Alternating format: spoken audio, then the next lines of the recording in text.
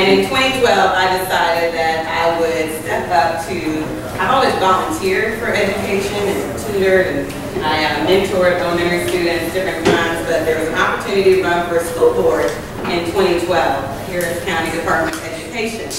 And so I had to run three times in one year uh, to win this seat. These are some of my beloved students that are helping me vote for Lee because I wasn't married 2012. And we did parades and talked to people about how we believe that all of you, all of our students, can achieve if they have the opportunity to work, experience, and uh, experience the best that education has to offer.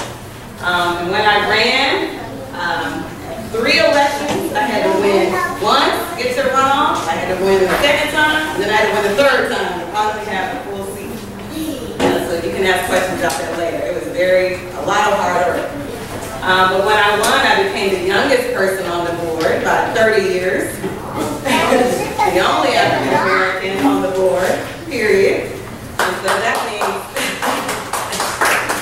that there was no one on that board who really lived in your communities and spent time with students like you on a regular basis. So I'm glad that I can be on that board and let them know that our African American children excel and are worthy of investment. And we do a lot of uh, projects in the energy and STEM field. We have robotics, so that's me as a trustee at one of our competitions. So I love to focus on that. Um, what is? No, bake? Bake? I didn't make, I was like helping judge, so I didn't make anything. I was helping, I was judging the students. What did I see? Well, the robots have to do certain challenges, and they are electronic, and the students have programmed them to complete the challenges. So it's really exciting to see, um, to see what the students can do. And they can each, every robot can operate differently just to achieve the same task. So it's all about the creativity of the students. Um, but anyways, I just am so glad that now I can spend my free time pursuing my passion. Uh, being a trustee is unpaid, so I do have another job that you know pays some bills, although my husband pays more of the bills. And but I'm glad that I can devote a lot of my time to making policies that hopefully allow you to reach your highest potential. and this is just my mom congratulating me. This is when I was sworn in uh, January 15, 2013. So I thank you, and I'm going to pass it off to my beloved husband, Dr. Roy. All right, gang. Had a little uh, everybody do it there. All right. So if you don't, if you don't remember anything else that I have to tell you today, just remember one thing that you can do anything that you put your mind to, okay? Don't let anybody tell you that just because you're black, or just because you're Latino, or just because you come from a different part of town that you can't do anything. And another thing that I want to tell you, this used to just drive me crazy when I was uh, growing up, is that a lot of people think that if you speak proper English, if you know math, if you know science, that's for white people. And that is the biggest lie. Don't let anybody tell you that. And the reason I say that is because I work in the oil industry. And the oil industry is by far the most important industry in the world. There is no other industry as important as the oil industry. And I don't see that many people that look like us in the oil industry. And the reason why is because we don't necessarily have the science, the mathematics, and the engineering background. And so one thing, so if you don't remember anything else I have to say, remember that mathematics, science, technology is going to take you and going to, uh, the jobs of the future are going to be in those fields. And so don't let anybody tell you you can't do it, that because you're a woman, or because you're a girl, because you're black, that you can't do it. Don't, because that's the biggest lie, all right? Those, those are the most, those are the most important classes that you're taking right now. Okay, so now with that said, let me just tell you a little bit about myself. So I'm from Louisiana. I was born and raised in Baton Rouge, Louisiana. And so I was fortunate, but after I graduated from high school, I actually left Louisiana. And then I went a couple of years up to Brown University, and I came back.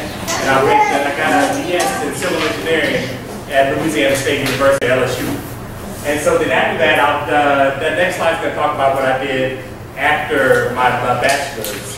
And then after I came back, I read, I studied, I got a PhD in chemical engineering from uh, Tulane University. That's why they call me Dr. Carter. So I can't operate on you. I'm not a medical doctor. I have a PhD, but I'm still called Dr. Carter. And so then after that, I worked at a small startup firm for a little bit. And I was doing a lot of defense work, a lot of like uh, advanced defense work doing, uh, weapon, yeah, the well, military, like a lot of weapon systems, that type of stuff. So I decided to kind of get away from that. Went back to school, got an MBA at the University of Chicago. And so that's up, that's up on the south side of Chicago. Actually, just a, a brief aside, I was actually there right before Obama announced uh, his uh, presidency. And he actually lived in the same neighborhood that the school is at. So he used to work out in the same building that I used to work out in. And so I used to see him there all the time. And so I remember just like him being right there, right next to me. And I said before I worked for Chevron, and one of the fortunate things about working for Chevron is that it's a global company. And so since it's a global company, I've had the fortunate, had the fortune to actually work in Angola, which is in Southern Africa.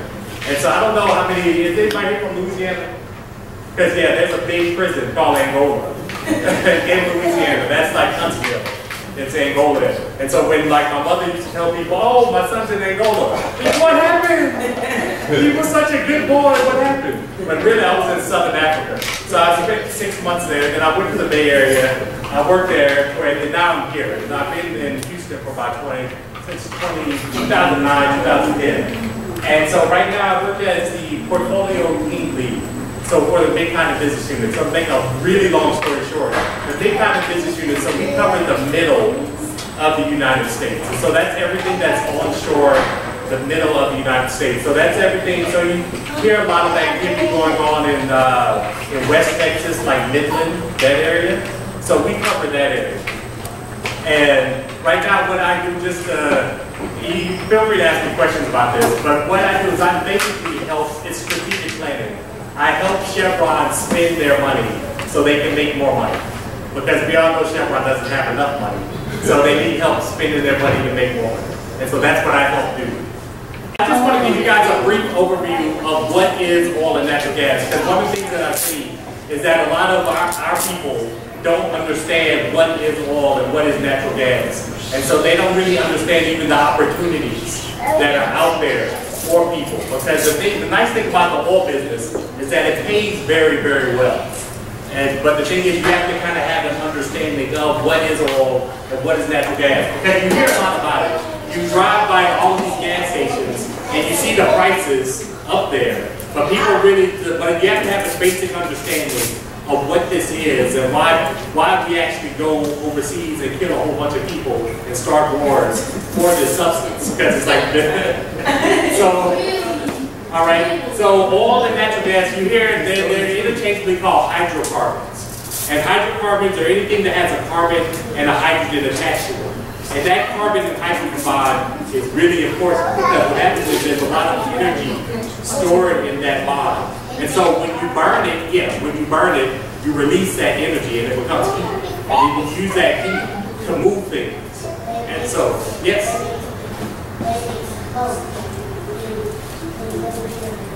Yes, right, exactly. And so when I say hydrocarbons, so there's a whole range of hydrocarbons.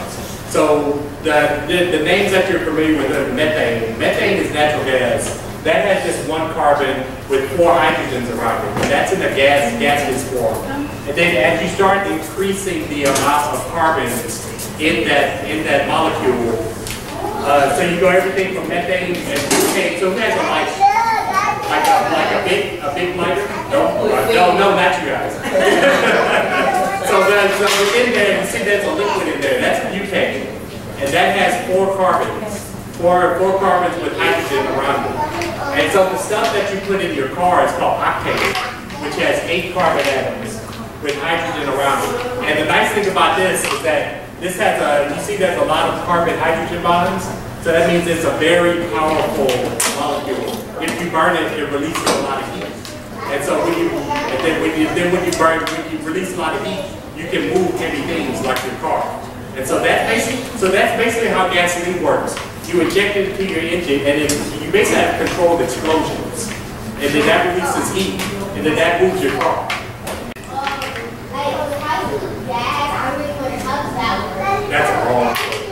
really, that, that's a, that's, yeah, that's a, that's a really long story, but basically what happens is, we take that, we take the, we're gonna talk about how, where we find that oil and natural gas, but we take that oil out of the ground, and then, so you go east of Houston, you see all these refineries, so they take the crude oil that, you know, that's gotten from underneath the ground, and then we ship it over to the refineries, and then that turns it into things like gasoline, and then also jet fuel, we turn uh, gas, crude oil into jet fuel, kerosene, which is jet fuel. Then also, so that's uh, for your car, but also anything that moves, moves because of oil and natural gas. Such as if you have a, a ship, ships run on bunker fuel, uh, trains run on yeah, jet fuel, and also big rigs, those run on diesel, which is a form of gasoline, but it's a little different. Yes, for big trucks. Okay. All right, so where do we find all the natural gas? And this is actually where a lot of money is being made right now all over the world. Uh, there's a ton of money. If you can, this is one of the things that I really want to emphasize to everybody here that if you, can, if you understand how to get all the natural gas out the ground, you will be an exceptionally wealthy person. This is a this is this is a very simplified version of how they do it, but a lot of people are making a lot of money right now uh, finding oil and natural gas well under underneath the ground. And so with that well, then it hits what they call reservoirs. You see these different uh, different uh, like straight strata of rock. And so yeah, basically yeah, of rock. Yeah. and so it goes and so we drill down and then we hit uh, basically it's a pool of oil underneath the ground. That's that's soaked in the rocks.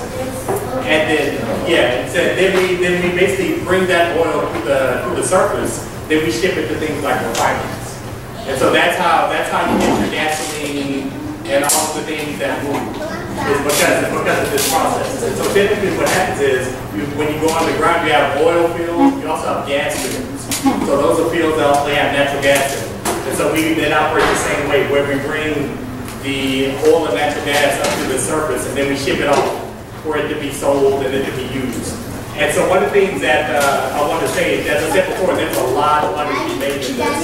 And so there's a lot of different fields, and this is one of the things that I want to emphasize to everybody here, because I really don't see a lot of people who look like us in these fields. And so you have things like engineers. I'm a chemical engineer by training, but you also have petroleum engineers. Those, uh, those are the people who actually drill the wells. And then chemical engineers, people like myself, we turn crude into gasoline. And so all of the refineries that you see to the east of Houston, all of those are like built and maintained by chemical engineers.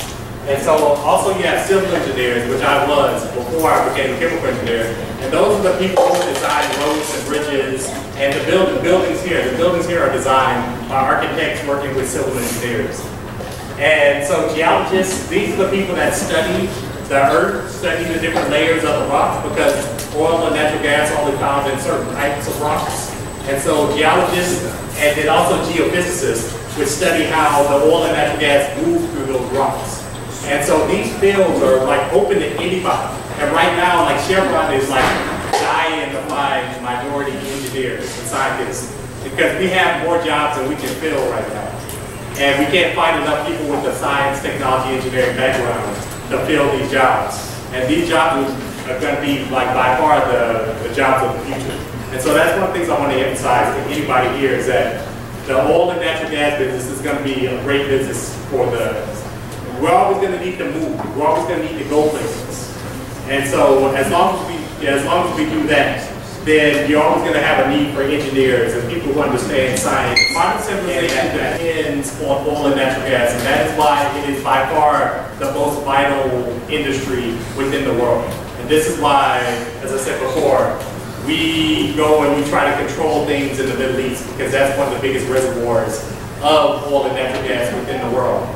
And so, as I said before, all vehicles that you see that are in motion they are powered by a form of hydrocarbon, whether it's uh, either oil, gasoline, diesel, jet fuel, those are all hydrocarbons.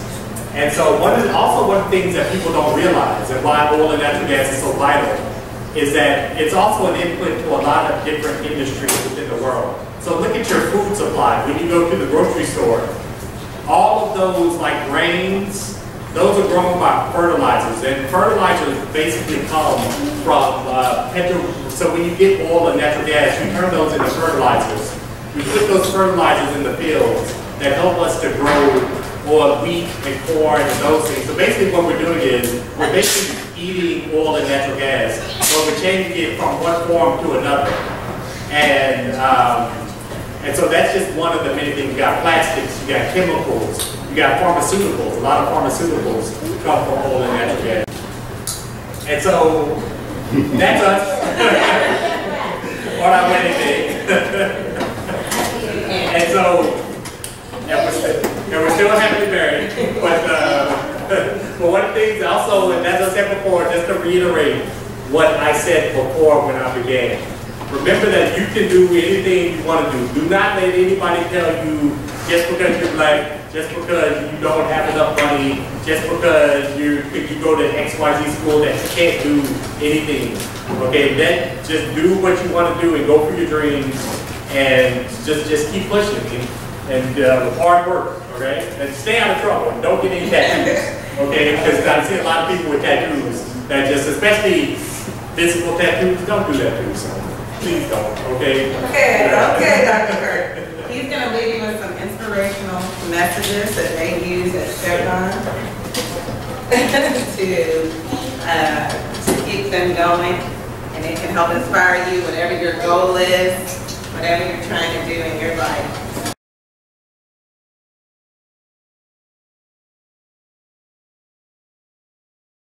The person responsible, really responsible for us going to Energy Day, this young lady here.